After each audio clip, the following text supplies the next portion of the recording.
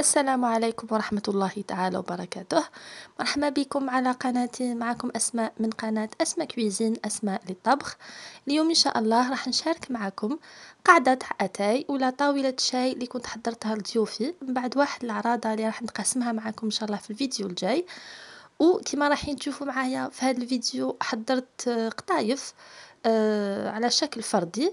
حضرت تانيك les cigares وحضرت معجون تباسة. آه، أكيد يعني وصفة معجون تباسة راح نخلي لكم الرابط في صندوق الوصف وتانيك شاركت معكم آه، يعني سنيوات ولا يعني تقديم ولا طريقة تقديم اللي كنت حضرتها ولكن في بعض الأخوات وكما قلت لكم في هذا الفيديو بإذن الله راح نديروا مع بعض طريقة تحضير القطايف بالطريقة يعني ماشي الطريقة الجزائرية آه المحضة لكن بطريقة شوية مختلفة ويعني راح تعطيكم une très belle présentation أنا كيما شفتوا معايا هنايا خديت آه يعني هذوك القطايف ولا يعني القطايف تاع سوريا كما نقولهم حنا في الجزائر يعني ماشي القطايف الجزائرية التقليدية لكن اللي يحضروا بهم هما الكنافة.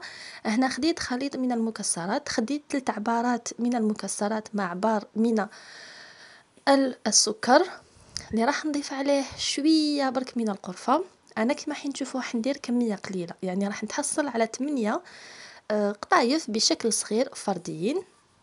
كما قلت لكم 3 كيلات مكسرات والمكسرات تاعي كنت حمصتهم ابان يعني حمصتهم شوية برك في الفوغ حتى نستخلص هذيك النكهة البنينة. من بعد رحيتهم بهذاك الشكل يعني رحيتهم غروسيامون حتى وأنتم تاكلوا رايحين تحسوا آه بهذوك المكسرات في فمكم. كما قلت لكم 3 كيلات قطايف كيلة آه عفوا 3 كيلات مكسرات آه كيلة سكر. زدت لهم غير مغرفة ولا زوج برك تاع سمن ولا تاع الزبدة تكون دايبة. ودرت لهم شوية برك من المزهر حتى تحصلوا على هذا القوام. يعني كيما الحشوة تاع البقلاوة يجي مرمل نحتفظ به على جنب.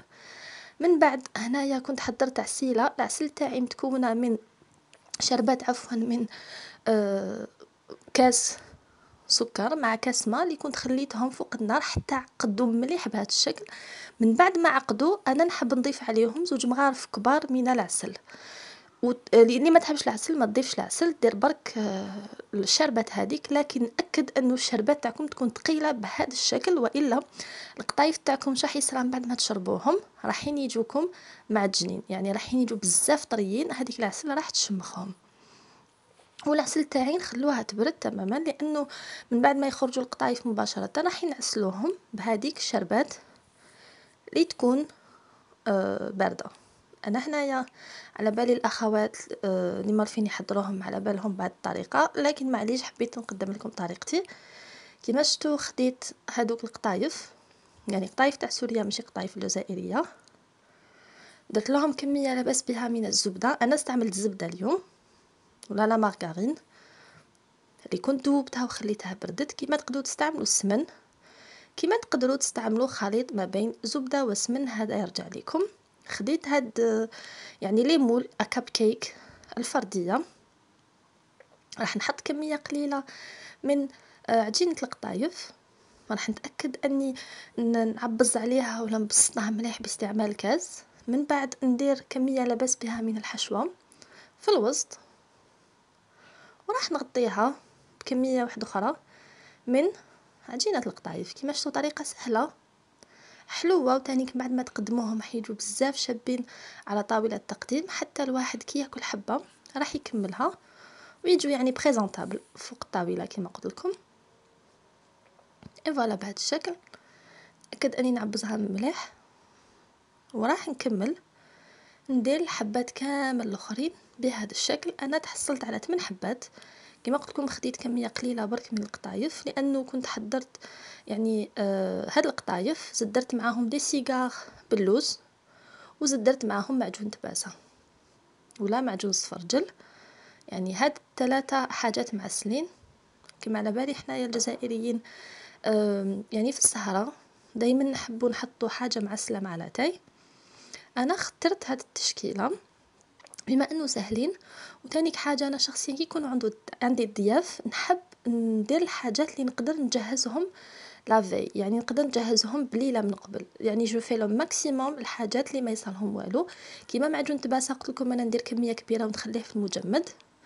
كي يجوني الضياف ولا يجوني ضياف الغفلة هكذا يعني décongeler وندير يعني نمرغدو في السكر ونقدمو. هاد القطايف كنت حضرتهم ليلة من قبل حتى كي تحضروهم ليلة من قبل حين يجوا يشرب حين يشربوا ويجوا بنان.